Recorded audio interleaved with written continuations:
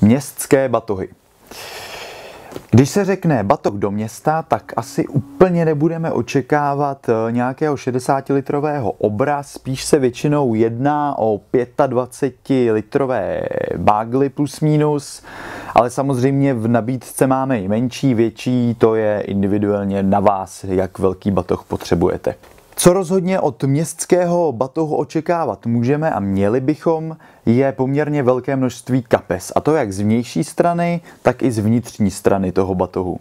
E, batoh do města by měl sloužit eh, k takovým těm každodenním účelům, to znamená eh, cesta do práce, z práce do školy, nějaké pochůzky po městě a tak. Takže uvnitř by neměl chybět určitě nějaký povedený organizér, kam si budete moct strčit například své psací potřeby nebo cokoliv jiného.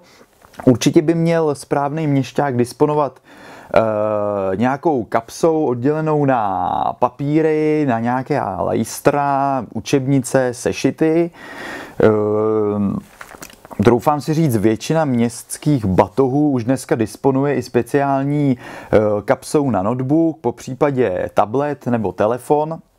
A od věci určitě není, když v nějaké kapsičce najdete poutko na klíče nebo něco podobného.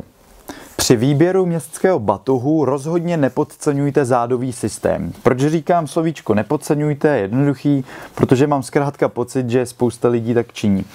Hlavním úkolem a funkcí zádového systému je roznášet váhu toho batohu po celých zádech. Eh, to znamená, že ten zádový systém by měl být dostatečně pevný, měl by být eh, dostatečně vypolstrovaný, tak aby perfektně obepínal celá ta záda.